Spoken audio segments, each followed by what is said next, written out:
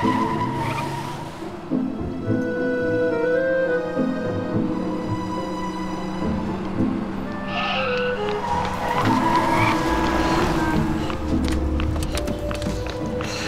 God you're here. He's having some sort of breakdown. He won't even talk to me. What the hell's he doing? He's cleaning up San Francisco single-handedly. Hey, Captain! Lieutenant! Where did he get the truck? He told the dispatcher it was a police emergency. It's like a vigilante.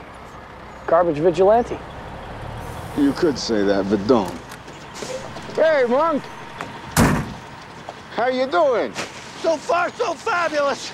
I've done seven, eight, nine houses. Oh, good for you. That looks great. Uh, all right. Yeah. You intend to clean up the entire city by yourself? Well, that's the plan, Stan. Street by street, one bag at a time. One bag at a time. One bag at a time. Where are you gonna put the garbage? I got it all figured. When this truck's full, I'm gonna drive it into the bay. Then come back, get another truck, keep driving them into the bay. One bag at a time. One truck at a time. One bag at a time. Truck at a time. Well, so long as you got a plan. Give us Mike the case, remember? Jimmy Cusack.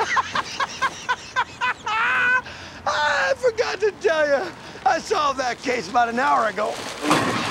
Wait, wait. You solved the case. Take a look, take a look, take a little look.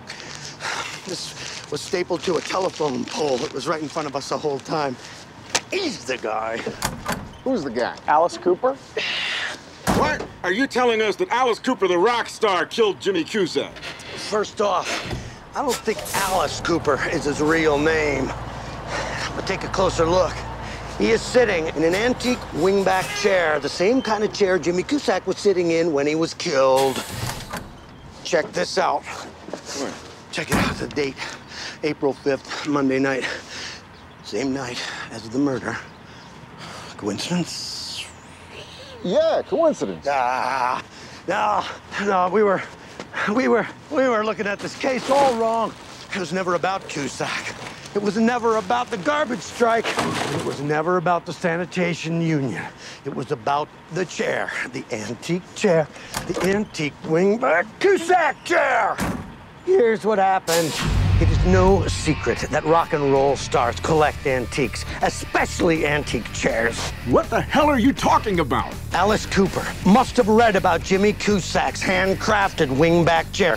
He was consumed with envy. He was consumed with resentment. Alice had to possess the fairest antique wingback chair in all the land. Should I be writing this down? Nope. It's true.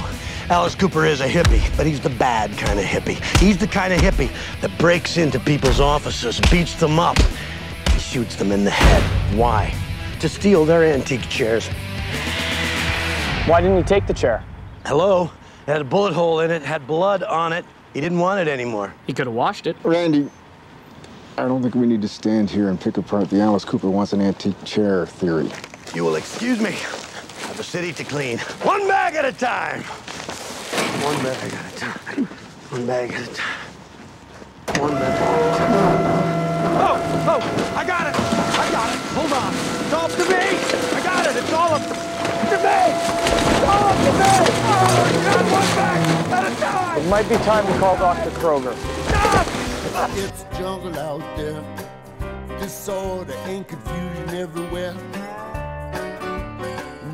One seems to care. Well, I do. Hey, who's in charge here? It's jungle out.